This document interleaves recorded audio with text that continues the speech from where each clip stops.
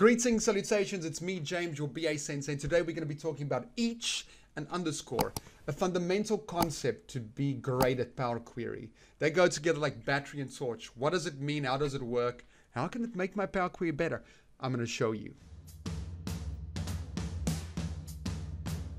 Well, all right, I got a very boring data set here just with some group codes, amounts, and dates. I'm going to use this data set to explain each and underscore.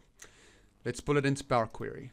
So now, where do you see the each and the underscore? So I'm going to quickly give you an example where you'll encounter it. If you write your queries, let's say, for instance, we want to filter numbers greater than 223. You're going to get a list. So just note here in the query editor, it says each amount bigger than 223. So there's the each I'm referring to. Now you're going to ask me, where's the underscore? Well, the underscore is normally hidden. If I put the underscore in front of the amount over there and press enter, still going to give me the same result. Nothing will change. So the underscore is normally hidden, but it's fundamental to see each and the underscore, battery and torch, going together. I'm going to explain to you how it works a little bit more in detail. Okay, so each, each refers simply to an item within a collection. It's an iterator. So you basically have um, tables with uh, columns within a table. You got rows or records within a table. You got items in a list. That's what the each refers to. The underscore is a little bit more uh, complicated and it, its meaning depends on the context of your query. So rather than me explaining to you what it means theoretically, I'm going to show you what it means. Context of a record. I'm going to add a new step. Say insert new step. I'm going to quickly say here table add column. And you can see here I'm going to add it to a table. It's going to be source and the column name would be, let's make it record. And I'm going to now put in there each. All right. And I'm just going to put the underscore in there. what is, what will this give me? I press enter. And as you can see, in context of this, the each and underscore would refer to a row within a table. So if I like, in other words, a record. This record, I look at it, this record refers to that, that, and that within this row. And this one refers to that within this row. So a record within a table. So that's the reference of each and underscore battery and torch. Okay, so I'm just going to rename this. Okay, I'm going to add a new step. I'm going to show you a different context. Let's go back to source. This time around, I'm going to add table, add column. I'm going to add it to source. I'm going to call it, let's call this list call. I'm going to say each. And what I want to do to produce a list is I want to take each item in this group code and split it. And I want to make a list. So what I'm going to say is I'm going to say for each text dot split yes where text is text I'm going to look in the underscore which is the current context of the row and I'm going to look at group codes. And I'm going to split it by that comma semicolon over there and I'm going to say okay. So now what you can see is it gives us a list and you can see that list contains all the numbers, uh, a delimited list of numbers from that column. And that's what that each refers to. And you can see if I take that underscore out, it still works. So the underscore is hidden normally. Battery and torch. All right. So now I'm just going to rename this list content context. Next one, I'm going to add another step. Let's give it a table context. So in here, I'm going to say table, add column, and the table is going to be source, yes. I'm going to say table call. And I'm going to say each, and in this case, I'm not just going to refer to either a list or something. I'm going to refer to, I'm just going to call it source. What it did now is it actually returned a complete table for each row. So for each row in this table, return the entire table, as you can see over there. Pretty cool. So now we have these three contexts. Now we have these three contexts for what the each and the underscore does.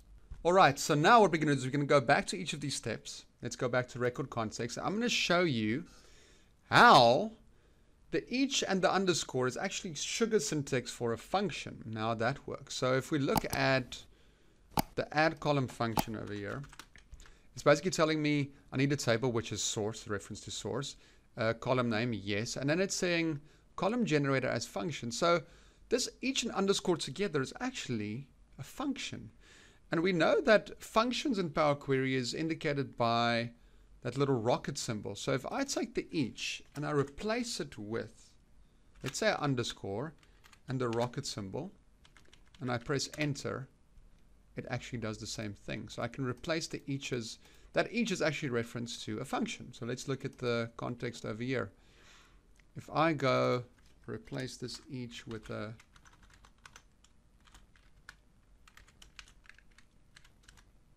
does the exact same thing. If I go into table context,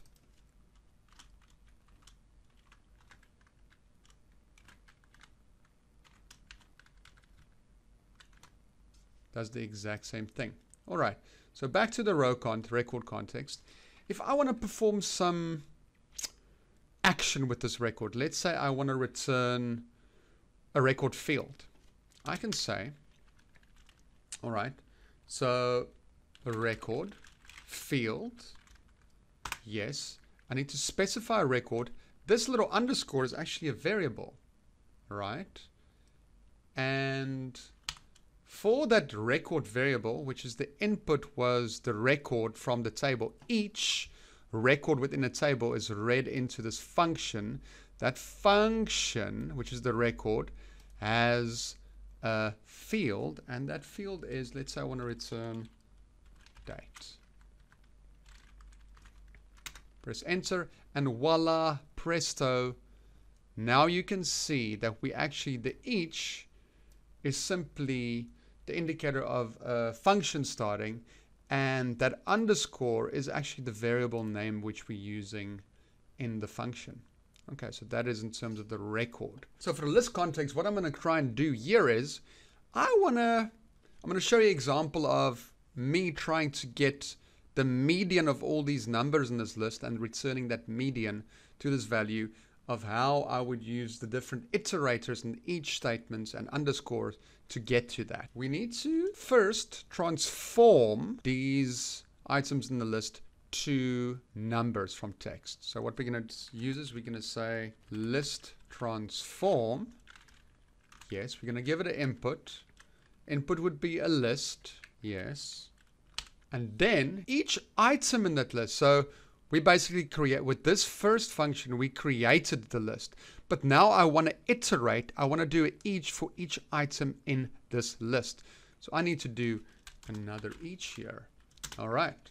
And in that each, I can say number from text and I need to feed it that individual guy over there. But what I'm going to do is I'm going to replace this with the actual iterator. I'm going to call this the list value. That's the variable I'm giving it, the variable name inside of the function. And I'm going to say from text from that list value. I'm going to close this bracket. I'm going to close that bracket. So now these are converted to numbers. Okay, so my next step will be to get the median. So if I now say list median, I just need to give it a list and that should do the trick. And there we go, there's the median. So if you look at this formula, we actually, to first create this list, we had to iterate through this. So that's the outer, the first part that goes through each item in the group codes to create the list. Then once I had that, I wanted to go through each of those numbers in the list with this variable and perform some function on it.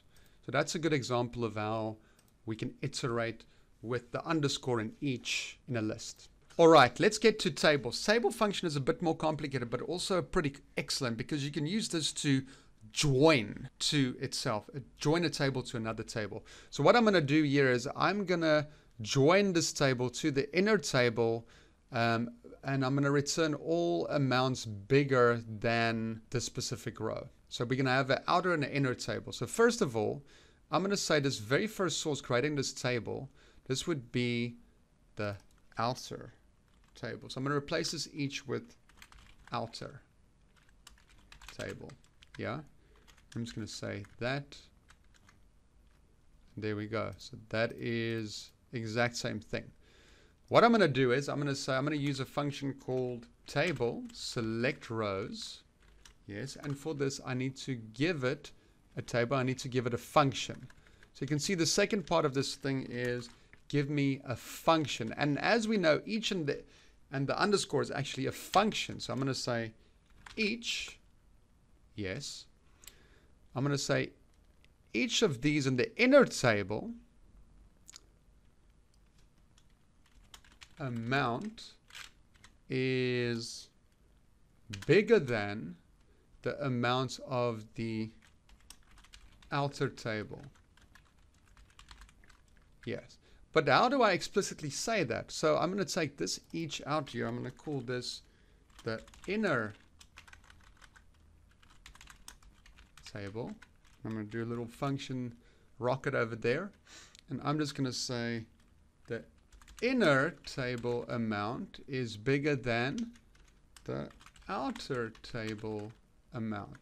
So you see, this is how I used each and underscore to write a little bit more complicated um, query in here, which will actually give me quite a cool answer. So you can see here, so it's going to return in the inner table anything bigger than 309. You can see it over there. So if we look at this one over here, it's only returning tables where the value is bigger than 3887. You can see it over there. Pretty cool. So this is a good sample. If we look at this one, so 992 is the biggest one. There is no other the table bigger than 992 pretty, pretty epic. So this is an indicator. I hope this lesson really helped you understanding each and underscore a little bit better because those concepts, battery and torch, fundamental to understanding Power Query. You will be able to write better Power Query understanding this. BA Sensei out.